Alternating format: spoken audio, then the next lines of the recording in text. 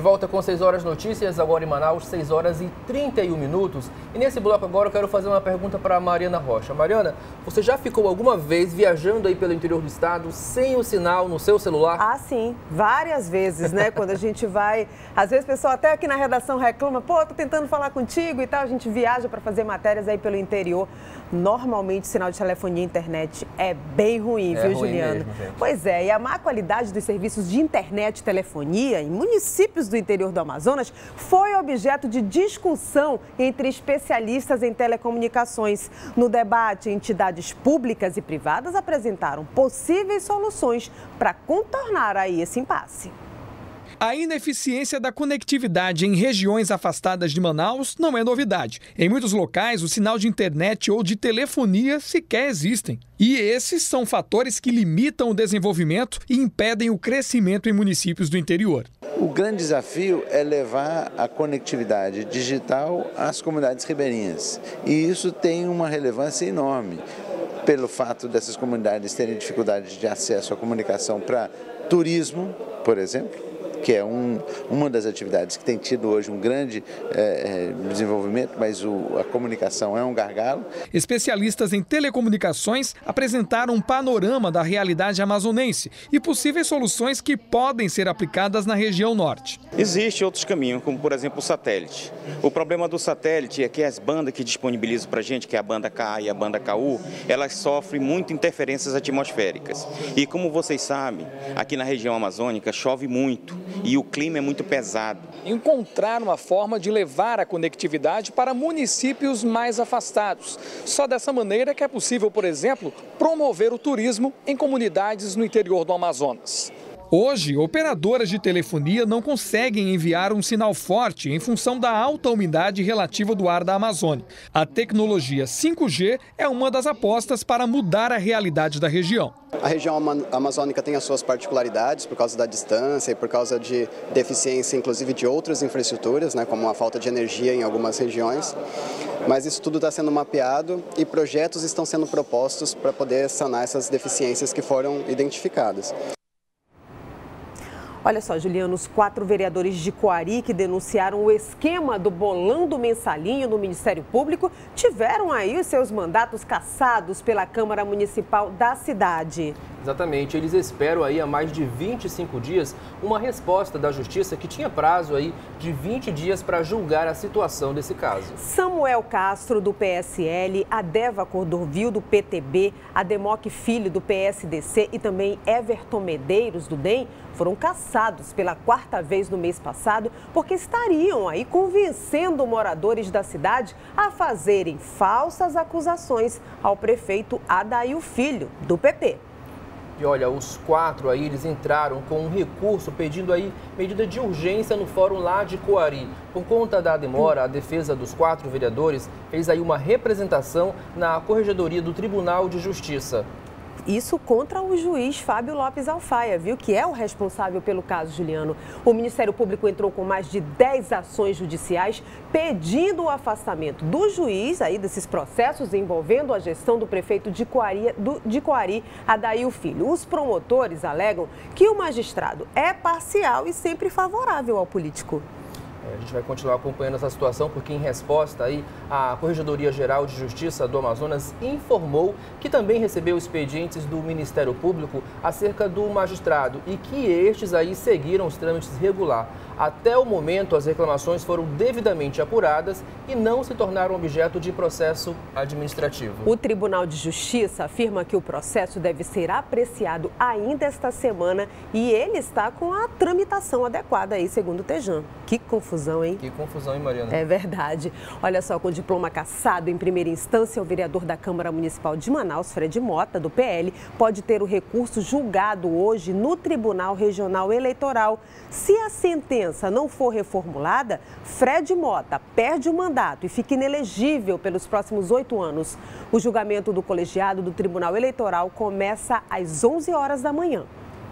E olha só, e logo mais às nove e meia da manhã, as contas anuais do ex-governador Amazonino Mendes, referentes aí ao ano de 2018, serão apreciadas pelo Tribunal de Contas do Estado.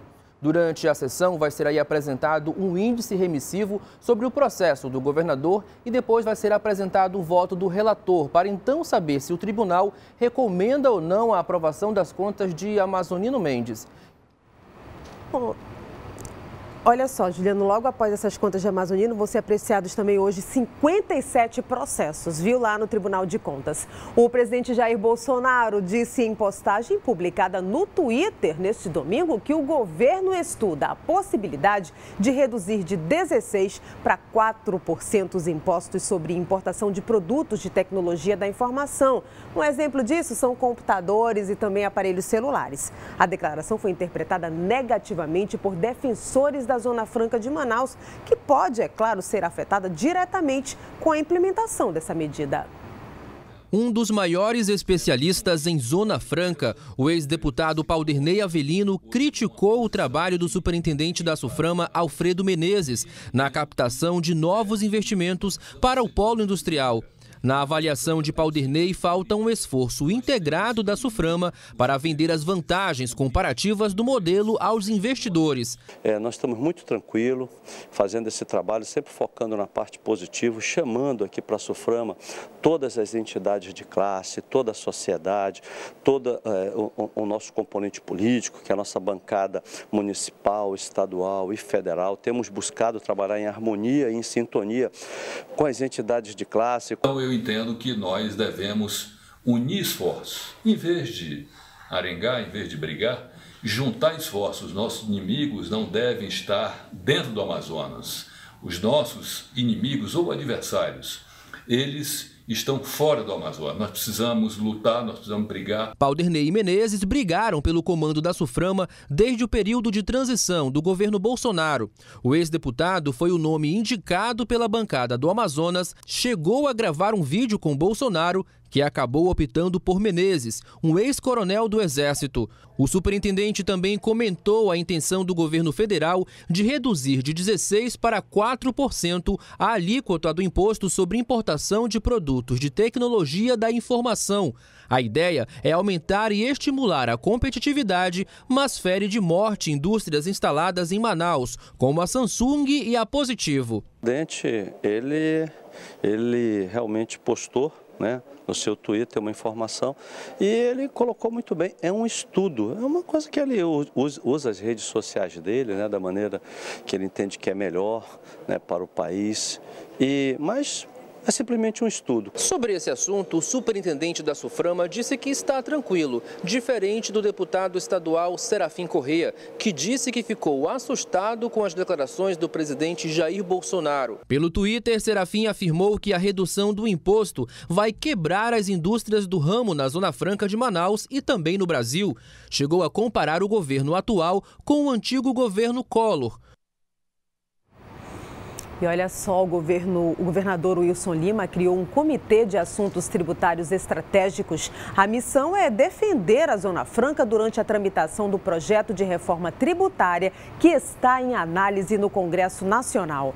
O comitê também será responsável por ajudar na formulação de leis e também de políticas públicas que beneficiem o modelo Zona Franca. Tomara que dê certo, né, Juliano? A gente continua acompanhando essa situação, inclusive também é, lá em Brasília a gente tem a bancada do Amazonas que está sempre tentando trazer mais benefícios aí para o Amazonas. Esta semana o superintendente da própria Zona Franca vai estar em Brasília tentando trazer mais investimentos aqui para o nosso estado. É um modelo econômico né, que a gente precisa, que é responsável por milhares de empregos aqui na nossa região e a gente não pode ficar sem a Zona Franca, nem pensar, né? Não pode. Fora o, o plano Dubai que entrou também essa semana em discussão e acabou gerando uma série de polêmicas aí, né? É isso aí. A gente muda de assunto porque eu quero saber se você mandou sua foto para mim, para a gente te conhecer, eu e o Juliano aqui, saber quem é que está do outro lado da telinha. A gente vai mostrar aí os nossos telespectadores nessa terça-feira, né, Ju?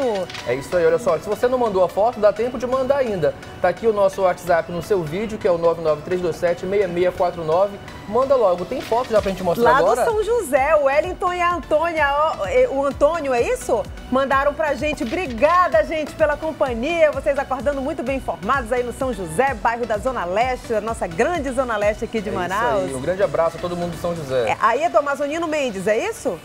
William. Aí é o William mandando pra gente. Olha, A foto é. com o Juliano, hein? Bom que dia, charme, William. hein? Bom dia, William. Obrigado pelo carinho. Agora a gente vai pra Redenção. Ai, que Meu fofa, Deus, que, que gostosura. É a Aninha aí no brinquedinho sorrindo com a gente já de manhã cedo. Bom dia pra você, Ana. Não tem conta pra pagar, né? Não tem, tá feliz da vida. Pessoal do Jesus Me Deu mandando foto pra gente também. Olha aí, o Walter e a o Walter Dan e a Isis aí com a gente, né? Pai e filha, né? De pijaminha ainda, acorda, Isis. Bom Vamos dia, curtir essa Walter. terça-feira. Bom dia, Isis. Tem mais fotos? Tem. Olha, tem mais. O Márcio do Educandos, obrigada, querido bairro da Zona Sul de Manaus aí com a gente. Olha, foi na hora da pose, hein? Na hora da gostei, pose, gostei. Viu? Olha, mandou, mandou a foto certa. Arrasou. Parabéns, pessoal do Educandos. Vamos pro Lago Azul. Olha o pessoal na cama ainda, mas já Eita. assistindo a gente, né, Ju? E como a gente fica feliz. É a Grazi, a Emily e o Júnior, que estão aí que na legal. cama. Ai, que chique Que esse cama lençol, gostosa, né? Arrasou, adorei. Todo de cetim. É cetim isso daí? Eu não tenho nada de pano, mas eu acho que é cetim. Esse aqui é lindo. mas tá bonito. Parabéns, gente. Que bacana, gente. Agora são 6 horas e 42 minutos. A gente quer que você continue mandando a sua foto pra gente te conhecer, saber quem é que tá do outro lado aí da telinha, tomando um cafezinho com a gente, né? É isso aí. Não sai daí que eu e Mariana Rocha voltamos já já.